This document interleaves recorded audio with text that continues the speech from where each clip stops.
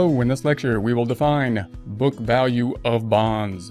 Support accounting instruction by clicking the link below giving you a free month membership to all of the content on our website broken out by category, further broken out by course. Each course then organized in a logical, reasonable fashion, making it much more easy to find what you need than can be done on a YouTube page. We also include added resources such as Excel practice problems, PDF files, and more like QuickBooks backup files when applicable. So once again, click the link below for a free month membership to our website and all the content on it.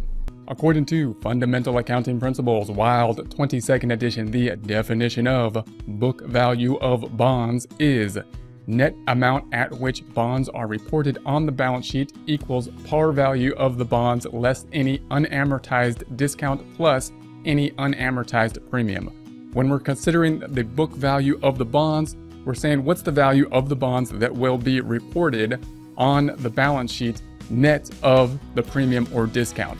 Therefore, what is the premium or discount? How does it get there? And how are we going to report these bonds? When we're considering the bonds, we usually think of bonds in terms of us purchasing the bonds, oftentimes in terms of investments. However, we are considering the bonds in this case as if we are a corporation who is issuing the bonds.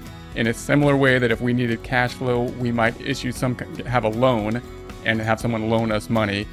The difference between bonds and a loan in order for a company to receive financing has to do with the idea that when we have a loan, one of the things we usually change in terms of finding a, an agreement, a market value of the loan, will be the interest rate. Uh, but in terms of bonds, the interest rate is going to be stated on the bond. So if the interest rate is stated on the bond, it's not the thing that we can then change in order to find market value in order to get an agreement. Therefore, we got to do something else. So the things that are fixed on the bonds we can think about are going to be the face amount and the interest rate. What could we then change? We can change the amount we're going to receive for the bonds. So in this case, we're going to say the bonds have uh, a face amount of 240,000, meaning to, uh, we're going to issue them. Uh, we're going to have to pay back, I'm sorry, $240,000 at the end of the bond. So you would think under a normal financing, we would receive at the front end 240,000 and then have some format of interest that would be charging. That would be the normal loan setup.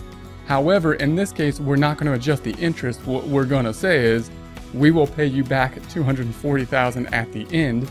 We'll accept something greater or different based on what the market is at this point in time. And in this example, we're saying, hey, we have an interest rate of 6%.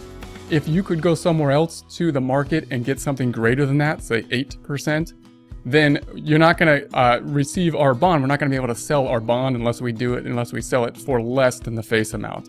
So that's going to be the case here. That would be the case of a discount. We'd sell the bond at a discount.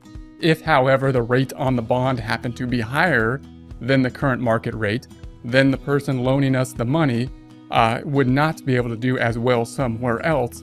Therefore, we would have a lot of people that would want our bonds Therefore, we would say, hey, we're going to give you the bonds at a higher price at a premium. So if we were to record this particular bond, we're going to record it at a discount. So we're going to receive something less than what we're going to pay back at the end. So there's the cash we're going to receive. How would we come up with that number?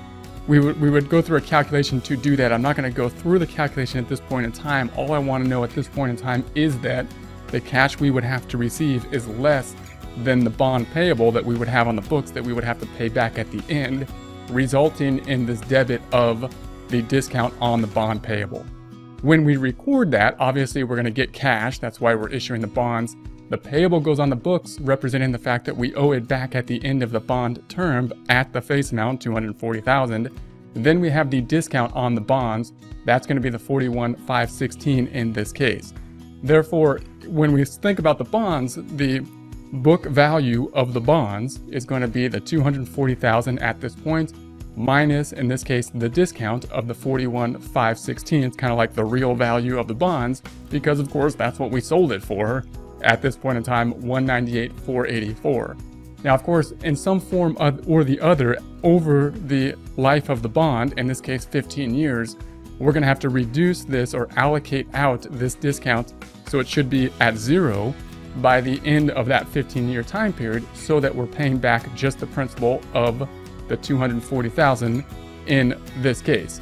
And therefore, the discount on the bond is going to, to be expensed in the form of interest expense. And that makes sense because really the difference here, this, this whole discount is in place because of the difference in the interest rates, because of the difference in the uh, stated rate and the market rate. Now, if we were at a premium, then this would be a credit here and we'd have to add them together. We would have received more money than uh, what we issued the bond for, and we would have to amortize that premium over the life of the bond, again, leaving us with the 240, in this case, face value of the bond that we would then pay back at the end of the bond period.